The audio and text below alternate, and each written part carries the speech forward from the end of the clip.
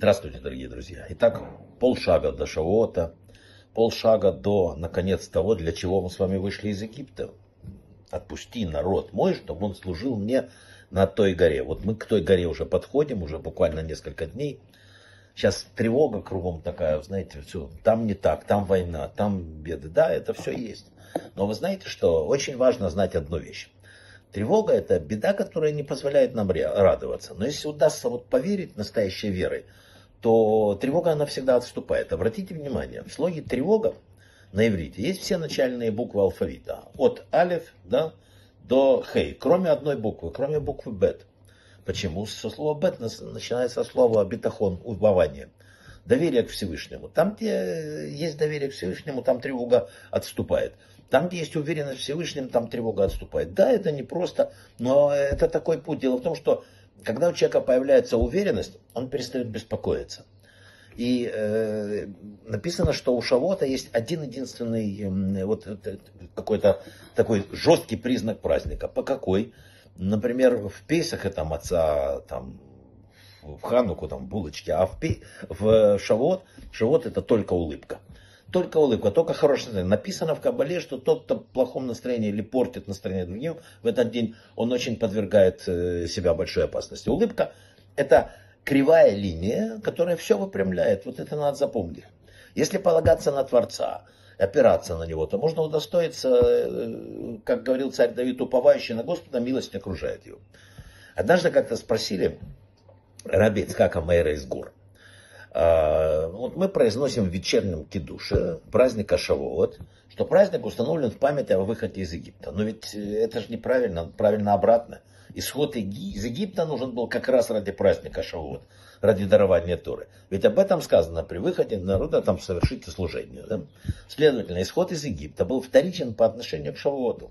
Почему тогда мы говорим, что праздник установлен в память о выходе из Египта? На это вы никогда не думали об этом? Раби на это ответил. Все это надо понимать буквально. Пока евреи не получили Тору, они на самом деле еще не вышли из Египта. То есть из Египта они вроде бы как вышли, но Египет-то в них остался. Они еще были пропитаны всем этим.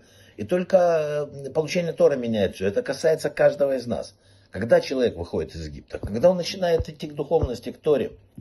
Я вам расскажу интересную историю, которая э, рассказывается о такой хасид был великий Менахим Мендел Футерфас. В первые э, послевоенные годы он помогал многим религиозным евреям бежать из Советского Союза. В конце концов, конечно, схватили, направили его в Сибирь. И вот он, он жизнерадостный, сильный человек, вообще это великий человек был. И вот а, там же привезли его друга в тюрьму. Это был Равин Маше Вишецкий.